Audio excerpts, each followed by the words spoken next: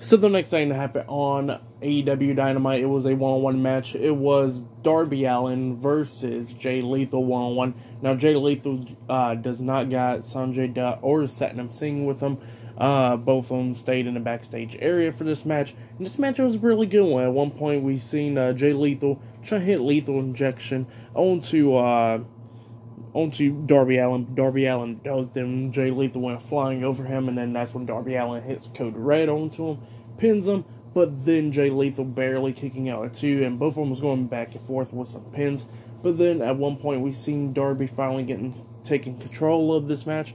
Darby was about to climb up the top turnbuckle to hit the uh, the coffin drop onto Jay Lethal. But then he spots Satnam Singh and uh, Sanjay Dutt on the stage, uh, distracting him, and then Jay Lethal knocks him off the turnbuckle, and then he notices him on the stage, and Lethal was getting pissed off, and then that's when uh, Darby Allin takes place.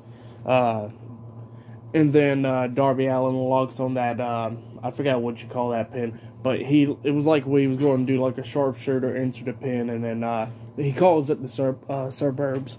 That's what he calls it.